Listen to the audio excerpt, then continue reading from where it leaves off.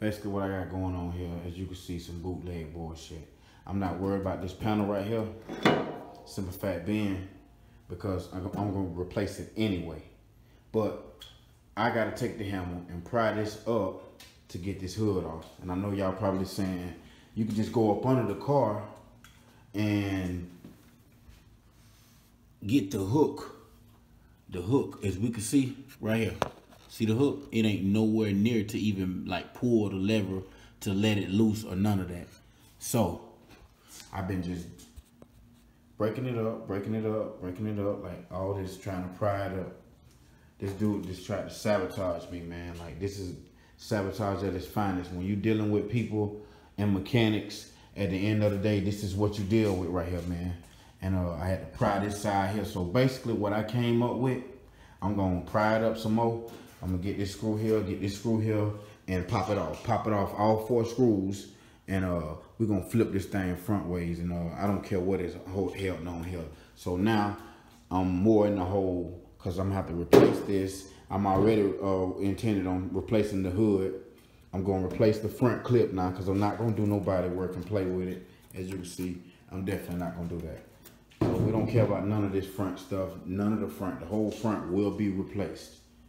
But we just at this point here, I want y'all to get in the comment section and let me know if y'all done been sabotaged by some mechanic, man. These mechanics, man, need to be held accountable for what they do, man. I got parts that I'm missing. I got stuff like everywhere. You can see I got stuff everywhere. Stuff everywhere, man. But what we missing, we will get again. This is motivation.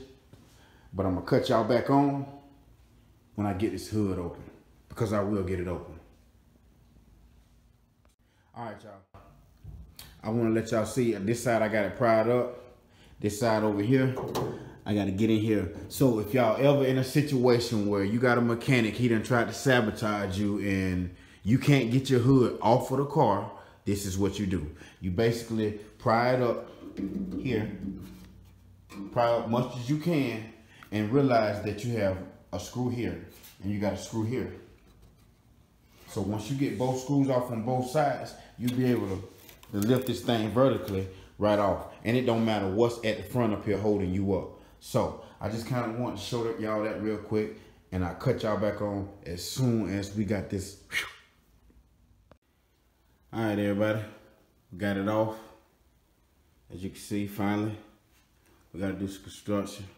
But uh, the main thing is we got this hood off. So now I can be trying to get the problem that I had, which was the motor mounts. As you can see, the pan, we got a problem with the pan. So uh, get in those comments. Let me know if y'all had any problem with those. And uh, appreciate y'all watching this video, man. Like, share, comment, subscribe. And uh, see you soon on the next one.